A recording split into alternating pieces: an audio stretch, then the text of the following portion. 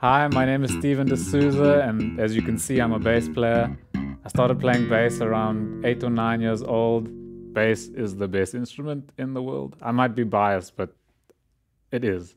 It just takes time and practice. Just playing the thing over and over again, slowly but surely, your muscles build up and your hand gets used to the kind of thing.